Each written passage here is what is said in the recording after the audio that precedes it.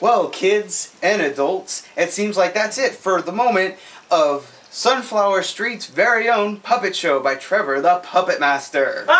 Oh, it's a monster again!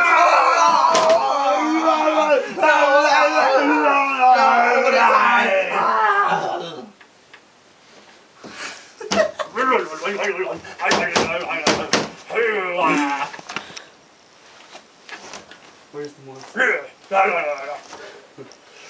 yeah, kids in there. No, let me tell you. No.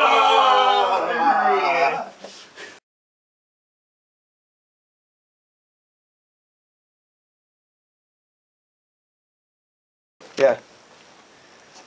Fuck you.